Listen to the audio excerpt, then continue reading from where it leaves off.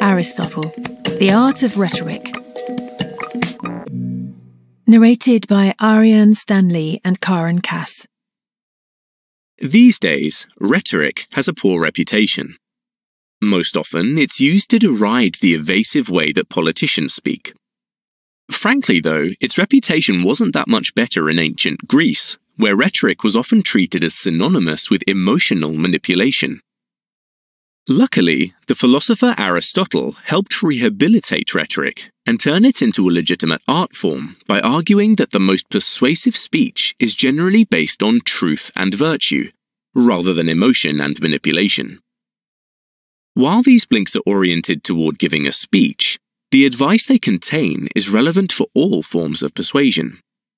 So, whether you have a speech coming up or you just want to improve your speaking generally, these blinks will help you speak more confidently and effectively.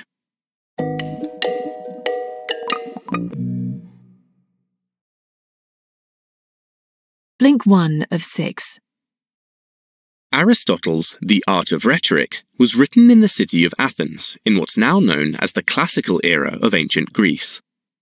During this period, Athens was a democratically run city state, so every Athenian citizen was expected not only to attend public assemblies and vote, but also represent themselves in legal matters. Public speaking was so interwoven into Athenian culture that the study of how to speak well became a matter of great public interest. This era produced a profusion of books and teachers claiming they could teach the art of speaking to the layman. Among these was Aristotle. He acknowledged that every speech requires its own unique rhetorical style. After all, you wouldn't give the same kind of speech to rally the troops for battle as you would to argue that taxes should be lowered. Yet, all forms of rhetoric basically have the same objective persuading your audience. The key message here is rhetoric is the art of exploiting the persuasive aspects of a situation.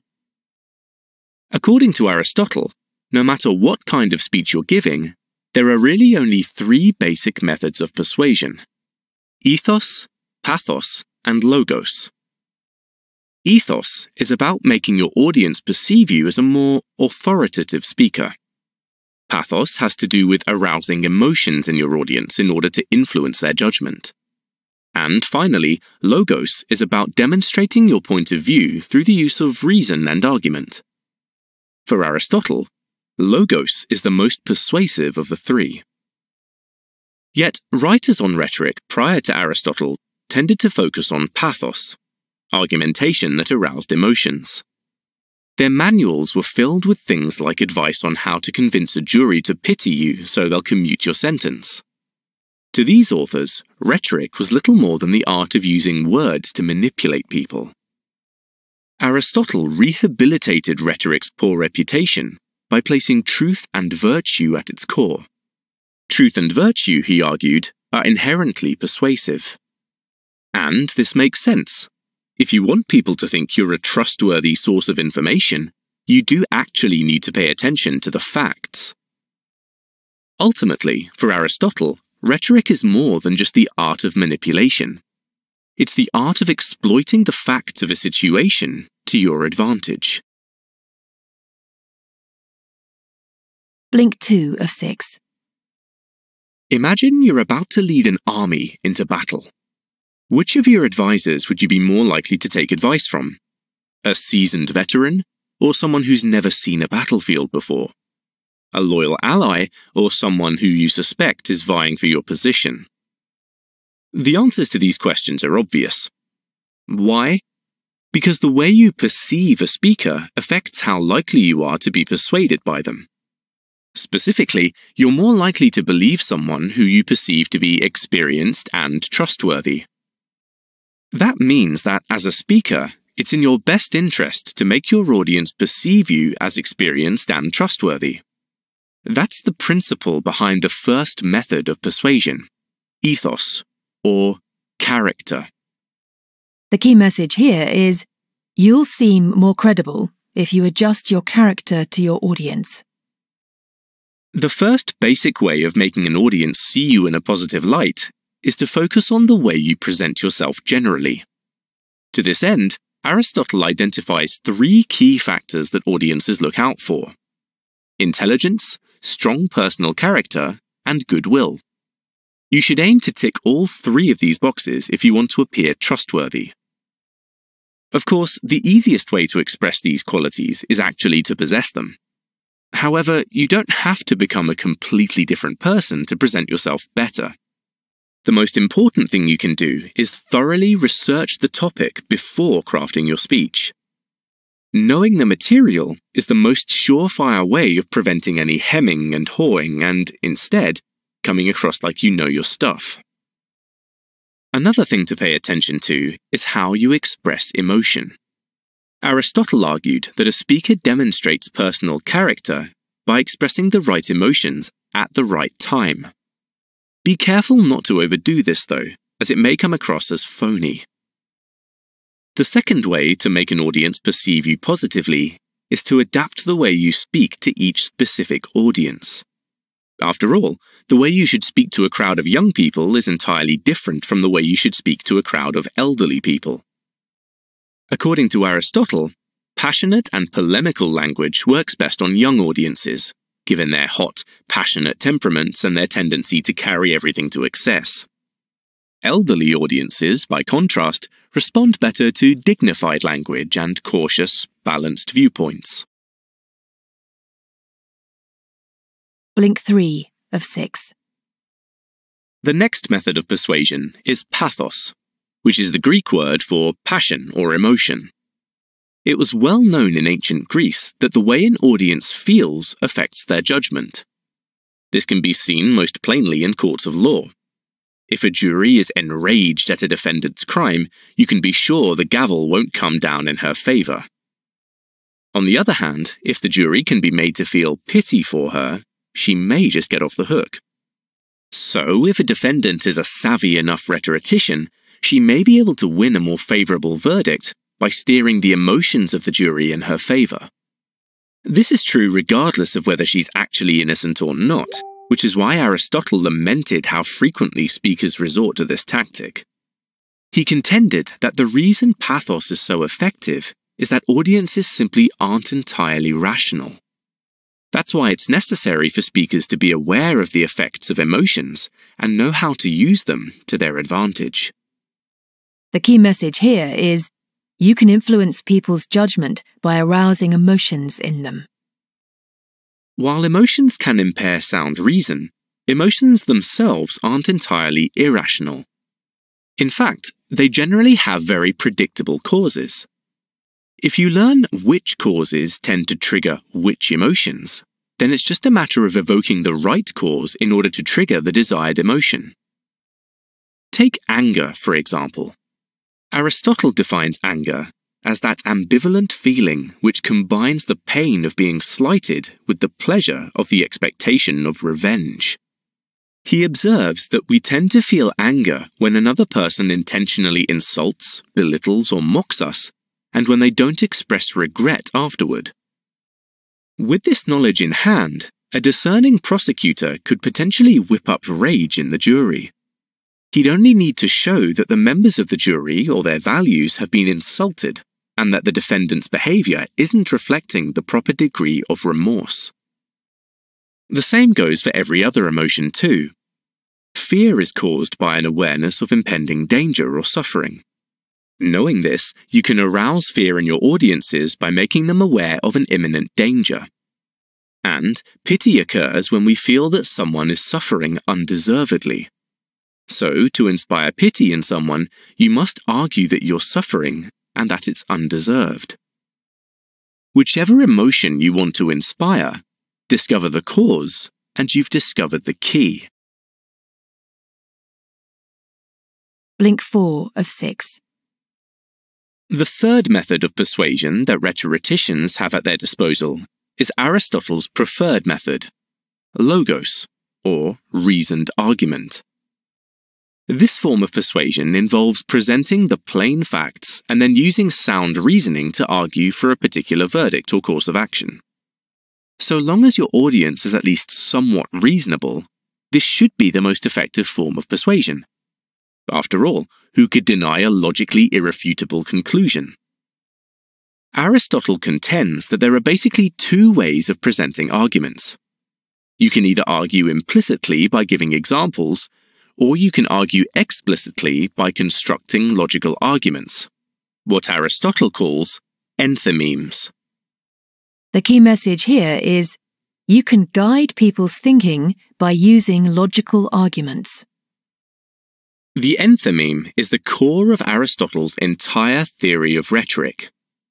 Let's take a look at an example. Imagine that you're a concerned citizen addressing an assembly about a possible invasion. You might give the following argument. A neighbouring power is amassing an army on our border. It probably plans to invade us. Therefore, we really ought to cobble together an army of our own before it's too late. This is an example of an enthymeme. We started off with a couple of accepted premises, and then we reasoned from those to a logical conclusion. What distinguishes enthymemes from the kinds of deductive arguments we might encounter in, say, a philosophical treatise, is that the conclusions of enthymemes are only probably true, not definitely true. In other words, we can't know for certain that our neighbours are going to invade us, but it's a fairly reasonable assumption to make based on probability. The enthymeme, then, is nothing extraordinary. In fact, most people make these kinds of probabilistic arguments all the time in their daily lives, and the way you argue in speeches should be no different.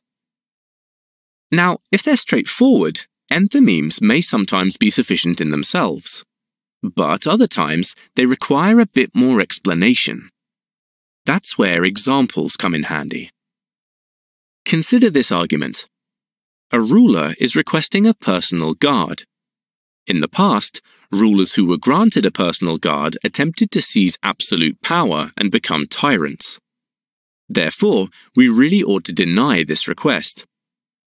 This argument is also an enthymeme, but it's made stronger because it justifies its conclusion by pointing to historical precedent. Since an understanding of logic is clearly fundamental to this form of persuasion, an education in logic and argument would greatly benefit the budding orator. Blink 5 of 6.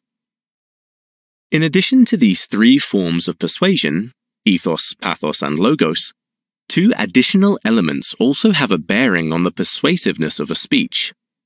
These are style and delivery. If Aristotle had his way, only the facts would matter. But alas, audiences often pay more attention to the beauty of a speech than to its content. The same speech coming out the mouth of a bland and nervous speaker is going to have far less impact than it would coming out of the mouth of a flamboyant and confident one. This testifies to the fact that public speaking is a kind of performance, and this is what truly distinguishes rhetoric as a form of art. The key message here is when performing a speech, your main aim is to speak clearly and naturally. For Aristotle, the principal virtue of good style is clarity. That's because being understood is, in itself, a kind of persuasiveness.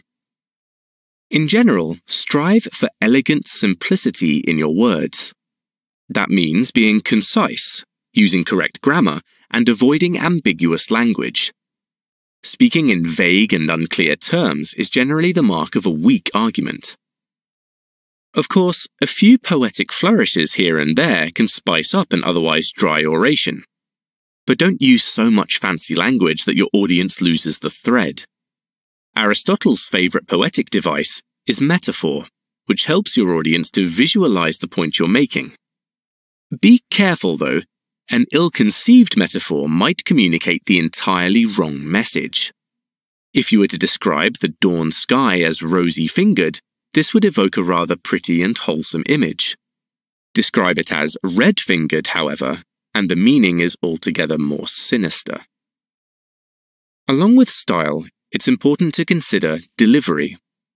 As Aristotle says, it's not just what you say that matters, but how you say it. Clarity is essential to good delivery. you should always enunciate your words and insert appropriate pauses between your sentences.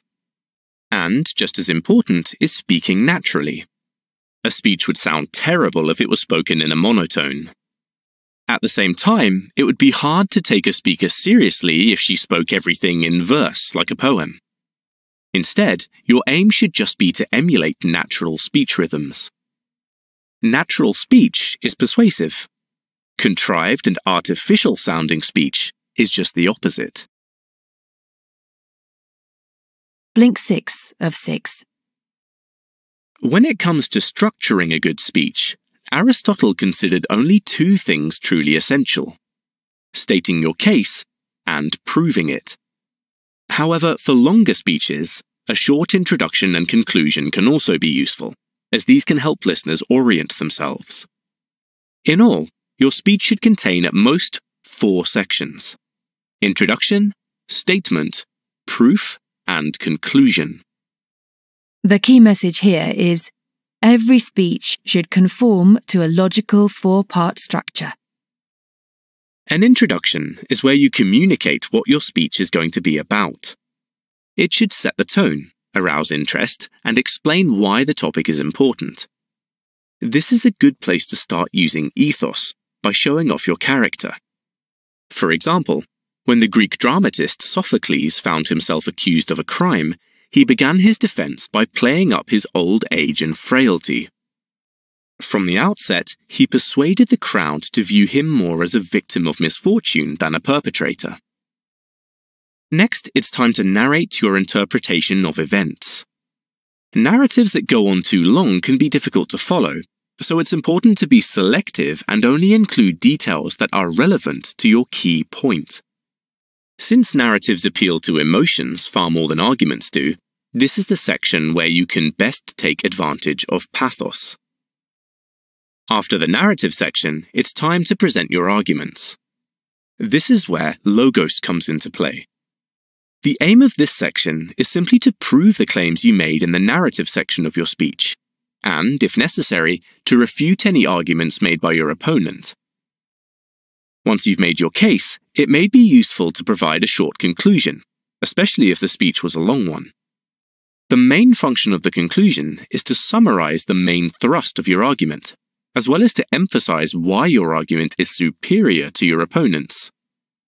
Since this is your last opportunity to win your audience over, it's a good idea to end with an emotional bang that leaves them feeling positive toward you. Finally, the very end of your speech should be concise and punchy. One popular way of ending a speech is to use the technique of asyndeton, which means to omit the conjunctions in a sentence. For example, after instructing students in the art of rhetoric, Aristotle concluded with, I've made my case, you've heard the facts, now judge.